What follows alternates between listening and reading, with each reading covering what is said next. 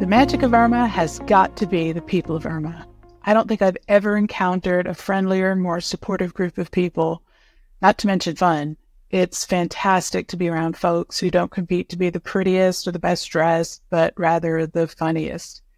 Everyone at Erma seems to believe that a rising tide lifts all boats.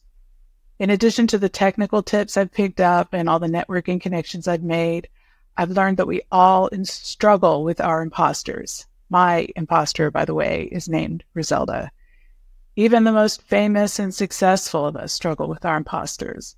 None of us are sure that the next book or story or article or even sentence we write will be read by anyone, but Erma helps me believe that they will.